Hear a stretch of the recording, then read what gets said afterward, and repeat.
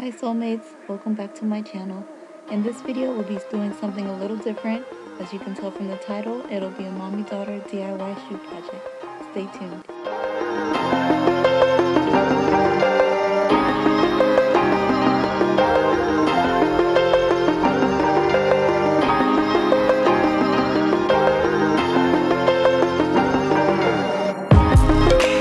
The supplies needed for this project include pair of shoes for mom. I decided to go with a black chunky heel sandal. And a pair of flats for your daughter. These metal rose gold bows that I found at Hobby Lobby in the scrapbooking section. Thick bows made of ribbon. These round pieces of material are optional. E6000 adhesive. Let's get started. The first thing we'll do is add the adhesive to the back middle portion of every bow.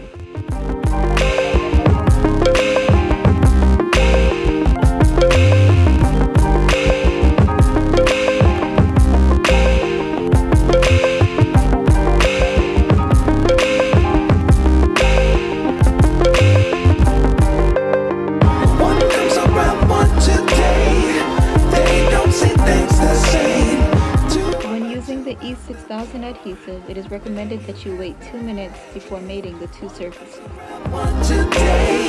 After waiting the 2 minutes, I attached the optional round piece of material to the back of the ribbon bow and the pink rose gold bow to the front of the ribbon bow.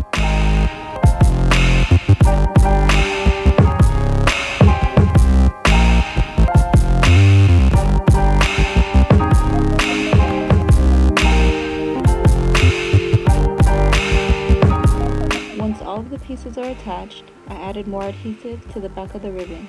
After waiting 2 minutes, I placed the bow on the front of each shoe.